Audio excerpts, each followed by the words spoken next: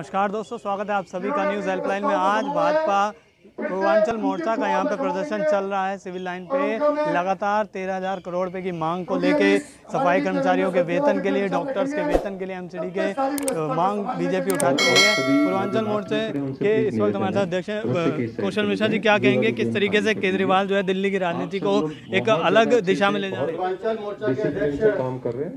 हैं। जिस प्रकार से दिल्ली सरकार ने भ्रष्टाचार की चरम सीमा को पार कर दिया और एक अंतिम पाप के घड़े की अंतिम बूंद सफ़ाई कर्मचारियों का वेतन मार के जिन्होंने कोरोना जैसी महाबीमारी में अपनी जान की परवाह न करते हुए जनता की सेवा की है जनार्दन की सेवा की है।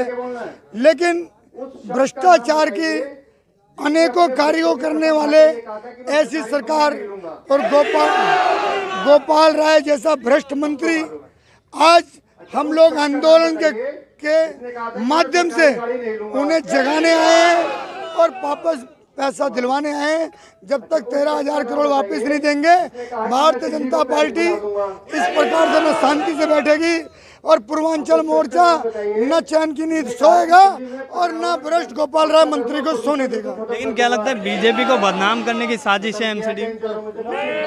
पैसे ना दे के कर्मचारियों की नज़र में बीजेपी को बदनाम। ये एक नौटंकी और धूर्त मुख्यमंत्री है।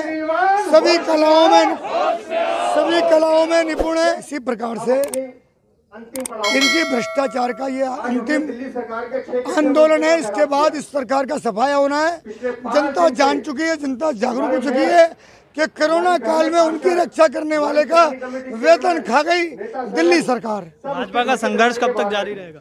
जब तक ये तेरह हज़ार करोड़ वापस जिनका अधिकार है जिनकी वेतन उनको वापस नहीं दे देंगे तब तक भारतीय जनता पार्टी पूर्वांचल मोर्चा ये आंदोलन करता रहेगा। आपको क्या लगता है कि दिल्ली में जिस तरीके से अभी स्थितियाँ बदली हैं कोरोना के बाद फिर भी अभी भी नहीं वेतन मिलना ऐसे समय में जब तंगी चल रही है? देखिए वेतन तो उन्होंने अपने पास जमा कर लिया रख लिया ले लिया अब तो इनसे दिलवाना है। तो दिलवाने के लिए हमारे मेयर भी बैठे हैं। सारी भारतीय जनता पार्टी के सभी मोर्चों ने चारों तरफ़ से इनके मंत्रियों को घेर लिया है। अब सिर्फ़ इन लोगों से हमें एक ही वो है कि जो पैसा दबा के रखा है उसे वो जिनका अधिकार है उनको वो दे दे नहीं तो ये आंदोलन इसी प्रकार से जारी रहेगा और आंदोलन अभी कुछ भी नहीं है अभी तो यह लड़ाई है आगे और लड़ाई है ईट से ईट बचा देंगे। अभी जिसकी इन्होंने कल्पना भी नहीं की है जब तक तेरह हज़ार करोड़ वापस नहीं